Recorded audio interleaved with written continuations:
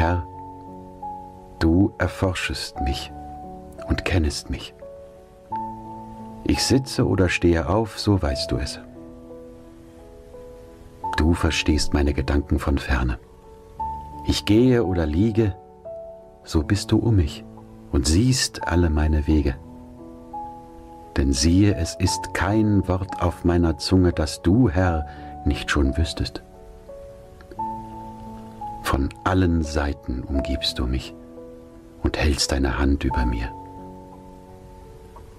Diese Erkenntnis ist mir zu wunderbar und zu hoch.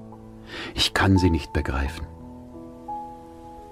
Wohin soll ich gehen vor deinem Geist und wohin soll ich fliehen vor deinem Angesicht? Führe ich gen Himmel, so bist du da. Bettete ich mich bei den Toten, siehe, so bist du auch da. Nähme ich Flügel der Morgenröte und bliebe am äußersten Meer, so würde auch dort deine Hand mich führen und deine Rechte mich halten. Spräche ich, Finsternis möge mich decken und Nacht statt Licht um mich sein.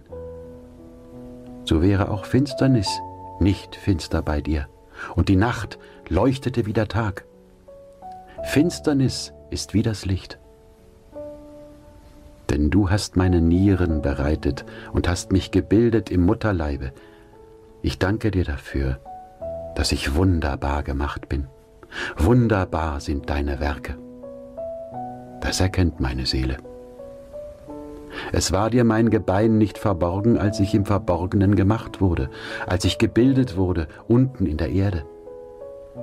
Deine Augen sahen mich, als ich noch nicht bereitet war, und alle Tage waren in dein Buch geschrieben, die noch werden sollten und von denen keiner da war. Aber wie schwer sind für mich, Gott, deine Gedanken. Wie ist ihre Summe so groß? Wollte ich sie zählen, so wären sie mehr als der Sand. Am Ende bin ich noch immer bei dir. Ach Gott, wolltest du doch die Gottlosen töten, dass doch die Blutgierigen von mir wichen, denn sie reden von dir lästerlich und deine Feinde erheben sich mit frechem Mut. Sollte ich nicht hassen, Herr, die dich hassen, und verabscheuen, die sich gegen dich erheben? Ich hasse sie mit ganzem Ernst. Sie sind mir zu Feinden geworden. Erforsche mich, Gott, und erkenne mein Herz. Prüfe mich und erkenne, wie ich's meine und sieh, ob ich auf bösem Wege bin und leite mich auf ewigem Wege.